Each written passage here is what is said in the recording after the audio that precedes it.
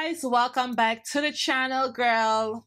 How you doing? I had so much fun with a lot of products in 2021 and i just want to share with you guys some press powders. So um, i tried out a few press powders for the year of 2021 probably didn't come out in 2021 probably 2020 but either way they're still on the shelf. So i have two drugstore and all the rest are high end all of these are great products. You don't have to go buy them but i recommend them. Oh. I have favorites okay that i talked about a lot on this channel and i will continue talking about them. These are the products that really works for my skin. I look for coverage how it settled into the skin. So I wanted to put a little drugstore in there just in case that you guys on a budget and you want to pick up any of these, you can. So we're going to start off with the drugstore first because I only have two. This one is from Black Opal and I did deposit this one, but girl, I don't have any space to put it, so I just have it in here. This is it here. It's in the bottom here.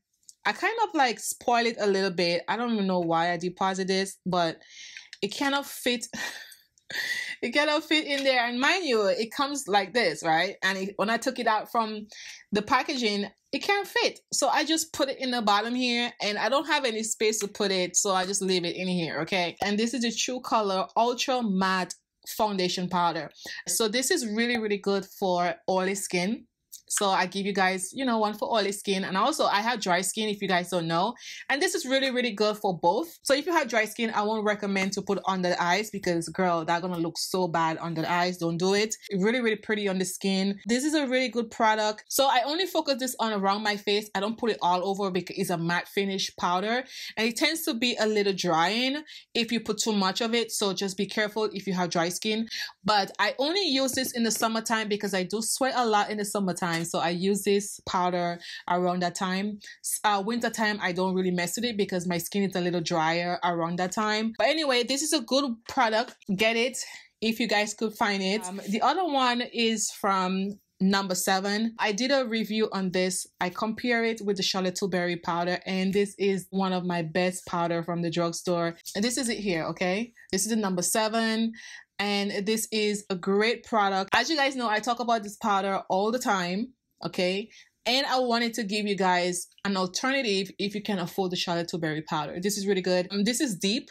Yes, it's a little light, but when you put on your face, it's okay. This is number seven, Lift and Luminate Triple Action Powder Foundation, and this is deep. I got this from Walgreens. This is around $12. This is a great powder if you can't afford the Charlotte Tilbury powder, okay? It works the same, and I use this for all over the face at times, and sometimes if I just want to focus it on the eyes, I do that. I also had picked up another one, which is a lighter one just to focus it on the eyes because I like a bright on the eye. It's not a full coverage powder. I don't use this on its own because it really don't give me that much coverage. So we're just gonna go away the high end. So I'm gonna go with the Charlotte Tilbury first because I just talked about it. So this is the Charlotte Tilbury Airbrush flawless finish skin perfecting micro powder i talked about this all the time and i'm actually wearing this powder today and this is a great powder like i don't even know what to tell you guys about this. Just like get it.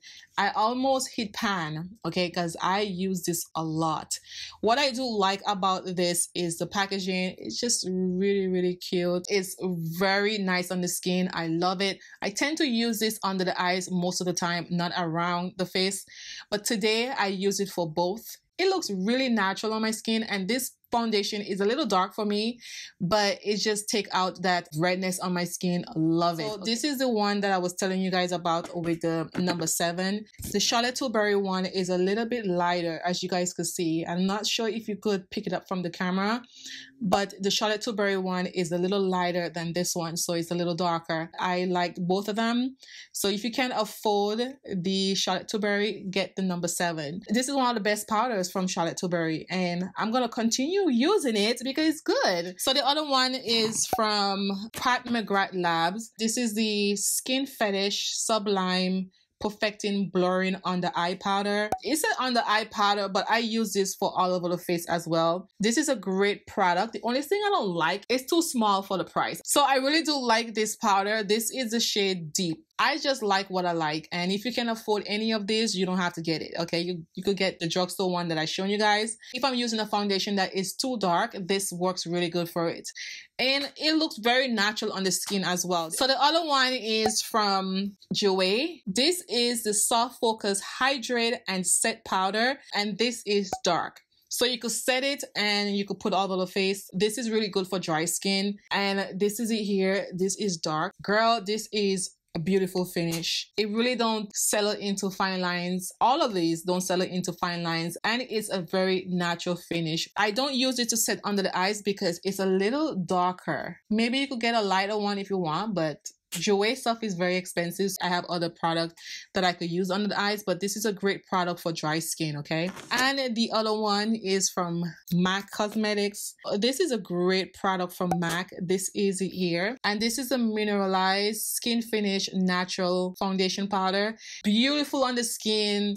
It just looked like skin when I use this. Uh, it also has a mirror in there okay and this is a beautiful finish powder been out for years and this is one of mac best powders okay i love it whenever i use this my skin look very very healthy this don't really give me like a full coverage but it gives a nice flawless finish just to set not to wear on its own. I don't really like how it looks on its own. I just like it to set my foundation and it works really good. This one is my favorite. And if you guys been following me for a while, you probably know what I'm talking about. This is it here, girl. I didn't have to talk about it, girl. You just have to like just just look at it. Just she's beautiful. Might be dirty, but she's good. This is from Fenty, girl. The soft matte powder foundation. This is the shade 410. Girl, you could use this on its own. You could set, you could do whatever you want. This is a full coverage, okay? I wear this on its own in the past. Beautiful finish. It looks flawless. I tend to use it a lot. I try my best not to use it too much because, girl, I don't want it to finish. And I'm almost hitting pan because, girl, this is just such a great product. I like to have a powder just in case I don't want to put any foundation on. I just want to put a little powder, and this is it all the other powders that I just shown you guys, if you use it on its own, I don't think you're gonna give you like a full coverage. Powders are just to set. This one, girl, you could set it, you could use it on its own. It just look really, really beautiful on its own. So if you're using a light foundation, it really don't give you much coverage. This will give you the full coverage that you need. And this is why I always recommend this powder for you guys because it's a really good product. So I have dry skin and I never had a problem where this product is too matte. It really don't sell it into fine lines. It's just a beautiful overall product.